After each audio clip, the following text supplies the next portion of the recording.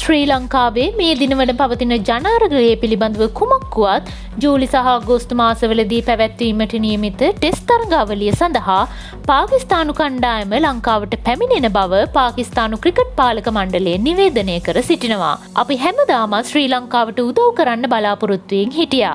ඒක සාමාන්‍ය අවස්ථාවලදීද නැත්තම් මසේරු අවස්ථාවලදීද කියල වෙනසක් නැහැ.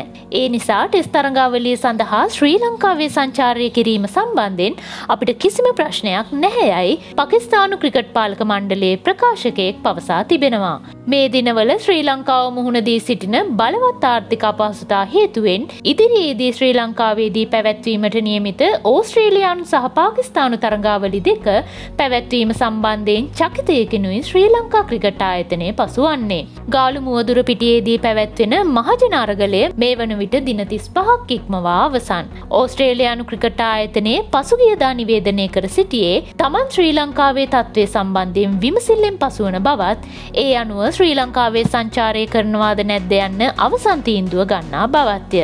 කෙසේ වෙතත් පාකිස්ානු ක්‍රිකට් පාලක මණ්ඩලේ පවසා ඇත්තේ තීරණය ඇත්තේ ශ්‍රී ලංකා ක්‍රිකට් ආයතනය අත බවයි. ඒ අනුව තමන් ඉදිරි පියවර ගන්නා බවත් පාකිස්ානු ක්‍රිකට් පාලක මණ්ඩල නියෝජිතයා පවසා තිබුණා. ශ්‍රී ලංකා ක්‍රිකට් ආයතනය කියන්නේ කුමක්ද අපි ඒකට සූදානම්. තරගාවලිය ශ්‍රී ලංකාවේ තිබ්බත් වෙනත් මධ්‍යස්ථ තැනක තිබ්බත් අපි තරගාවලියට එනවා යයි පාකිස්ානු ක්‍රිකට් පාලක මණ්ඩල නියෝජිතයා වැඩිදුරටත් පවසා තිබෙනවා. ශ්‍රී ලංකාවේ සහ පකිස්ානු ක්‍රිකට් පාලක මණ්ඩලය අතර ඇත්තේ දැටි සම්බන්ධතාවයක්. එය එක්දා සම්සිය හැට දශකය දක්වාම ඈතට දිව යනවා. ශ්‍රී ලංකාව ටෙස්ට් වරම් ලැබීමට පෙර සිටම ශ්‍රී ලංකාවට ටෙස්තත්වේ හිමවිය යුතුයයි බල කරමින් සිටියේද පාකිස්ානයයි. එක්දා සමසියානූ හතරේදී පාකිස්ානු කණ්ඩායමක් ශ්‍රී ලංකාවේ සංචාරය කරමින් සිටියදී හතිසියේම ඇන්ද්‍රනීතිය පනුවනු ලැබවා. එහෙත් පාකිස්ානු කණ්ඩායම දිවයිනෙන් පිටත්ව නොයා දිගටම රැඳී සිටිමෙන් ටෙස් තරගයක් අවලංගු කර එක්තන තරගාවලියකට සහභාගී වුණා.